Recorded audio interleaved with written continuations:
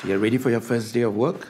I am Cassandra, your friendly career ambassador and your partner in your career journey. It's the emo clients that are tough. In those situations, I ask myself, what is the heartbeat of the call?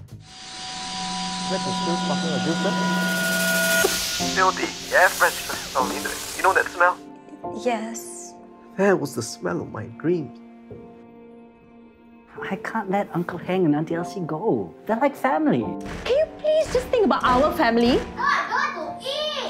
Finding a job in this climate is challenging. I'm sick of people telling me this. Can Careers Connect really get me a job? Get out!